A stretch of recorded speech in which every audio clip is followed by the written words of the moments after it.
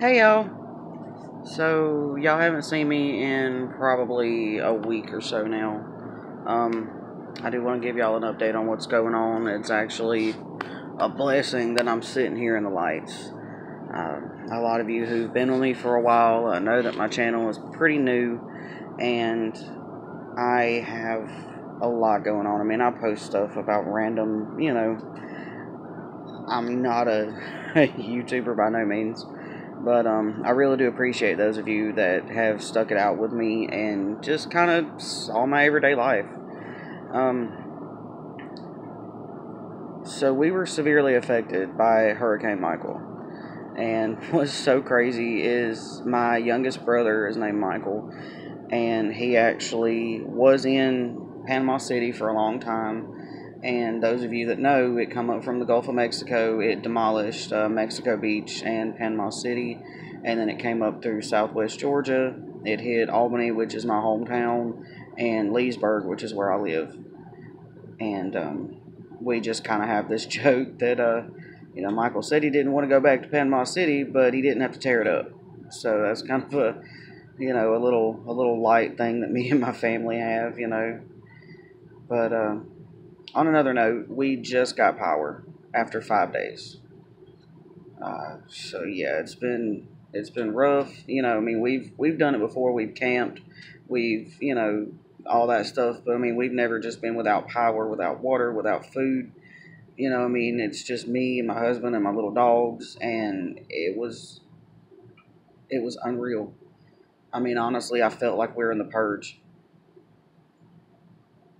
y'all, I've seen some stuff that I never thought I'd see. I've seen looters and scammers and people that have come here from out of state to take advantage of all these people who have nothing now. I didn't know. You know, like you always hear about this stuff on the news, but you never think you're going to get it. And then we did. We, uh, we kind of like bunked down in you know one of my friends' buildings. You know, I I don't want to go into detail with that, but you know we kind of you know bunkered down in that. You know, we had our supplies, we had some food, some water. You know, we thought we'd be cool, and you know we just ride out the storm. About uh, eight o'clock, no, about seven o'clock that night, the rain started, and this went on for almost six hours. And about eight thirty, the power went out, and we're just kind of like, what? And I mean, we're a huge building. It's pitch black. We can't hear nothing but banging and swaying and and boom and glass breaking. And I mean, my God, I got some videos of it. I mean, the videos don't do justice to what we saw. And man, y'all, at 10 o'clock, we started seeing people breaking in. Not where we were, but they were across the street. I mean, we started seeing flashlights, glass breaking my God. You know, these people are out in 100 something mile winds and they're out there breaking into places, stealing stuff.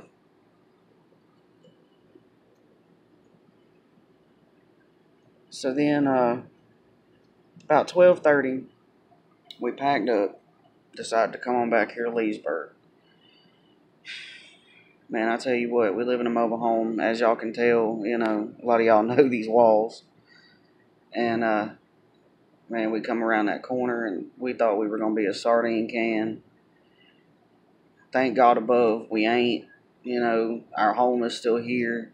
There was a limb through the kitchen. I'll show y'all that in a minute. We took it out, but there's still a big hole. And uh, we lost 90% of our shop, which it's a big uh, 60 by 80 shop on a concrete slab. Man, that thing's steel and tin, and you know, I mean, it's pretty, you know, it's pretty sturdy. Not for two huge, well, I don't know, 75, 80 foot oak trees. Wasn't it? Didn't. No. Mm-mm, gone. All my husband's equipment, lawn care stuff, that's how he makes money. I mean, everything. We lost it all. All my sentimental stuff, all my, you know, all of our. Anything that wasn't inside the house was there, and we lost it. We lost our dog pens uh, you know, I mean, luckily my dogs are still fine. You know, they're down there chilling. Um, you know, I mean, yeah, I'm. I'll admit, you know, about a day later, I had myself a pity party. I cried for about an hour. I didn't want to come home. I didn't want to see it. I mean, if it were daytime outside, I'd show y'all what it looks like. I'll be showing y'all probably tomorrow. Um, we can't even get to it. We can't get to anything. You know, there's two big trees on it. There's more trees out there that are uprooted that are probably going to fall over. They've called in the National Guard. We had to go get MREs. You know, I mean, man, God, the next day, you know, talk about like trying to scrounge to find somewhere that was open to get gas and cigarettes. And uh, look, I'm thankful just to have a cold Dr. Pepper at that point. Luckily, I got one now. But, I mean, I'm just thankful to have that. You really don't know what you got until it's not available to you. When you just can't walk in, you know, walk outside and go to the store, go to Walmart. Like right now, our city has a curfew. Everybody, everything closes down at nine. I'm not used to that. I'm used to being at Walmart at two o'clock in the morning. Y'all cannot close at nine o'clock, so something got to happen. But I mean, there's still power lines down. I mean, just destroyed. Our town got hit by two tornadoes 20 days apart. I want to say two years ago. I believe it was 2016. I think something, January of 2016 or 17, I can't remember. And that tore up Albany. But this time, Albany and Leesburg got hit. And, you know, I mean, talk about riding by and seeing somebody with a tree straight down the middle of their house. Like, my God. And now I know I know Florida got hit a lot worse than we did. I do understand that.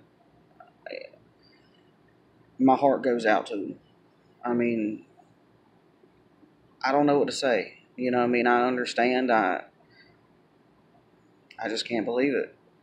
You know, so many things that we know and love that can be taken away so quick. I mean, just with a gust of wind, your life can change. That kind of puts things into perspective. Just the thought of my parents being 45 miles away from me and you know the cell phone tower's not working the internet's not working uh, we don't have a way to charge our cell phones uh, you know so many little things that we have every day that we don't understand that can be taken away in the blink of an eye and sometimes i sit here and i think about you know all i want to do is just watch a movie or you know whatever just something simple like that and then to come back to my home and say wait i can't do that I can't watch a movie. I can't even turn the light. I'm having to walk with candles everywhere. Man, just being thankful just to have a light on. And have a you know a cool room to sleep in. I mean, my God, talk about sweating to death. South Georgia, it's brutal. We're close to the equator, y'all. But um, I guess in the end, I just want to say I'm thankful that I'm here. I'm thankful that I'm alive. I'm safe. I mean, I've got scratches everywhere and bruises, and you know, I mean, I'm. I don't know if y'all can see that.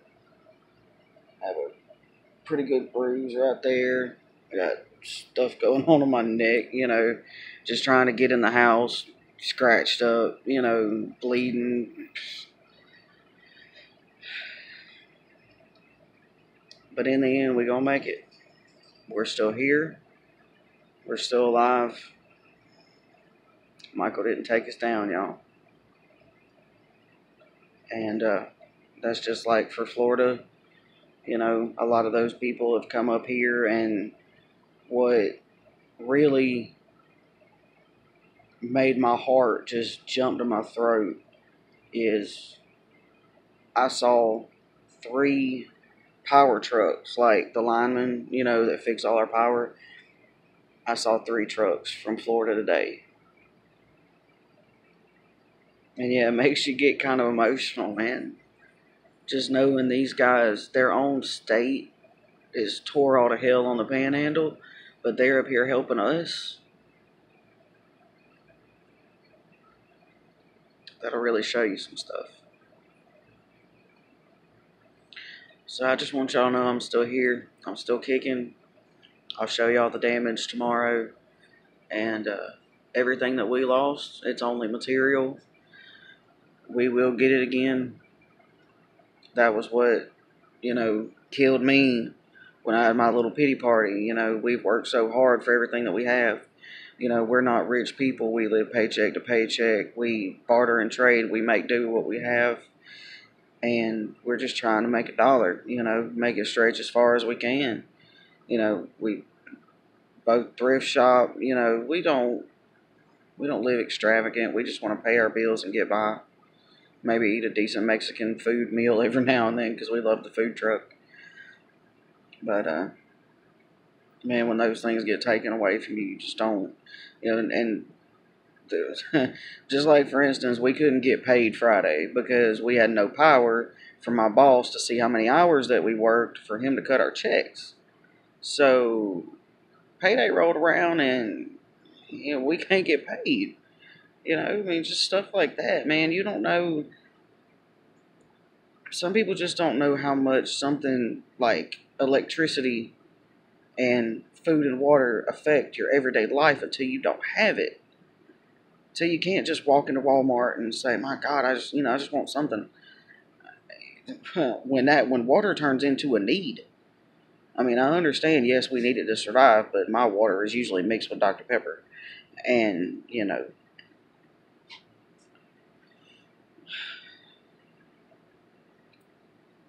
In the end, we're strong we're strong people around here.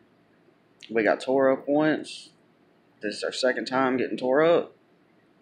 We'll come back even stronger next time. So, all my people out there that are in South Georgia, just know I'm right there with you. And we going to come back. We always do. And everyone out there that, you know, hasn't seen the devastation all I can say is just send your prayers down here, send your guardian angels, because Lord knows we need them.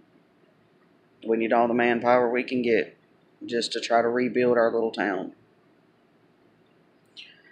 So, in the end of my rambling, gonna let y'all go, and I'll see y'all tomorrow.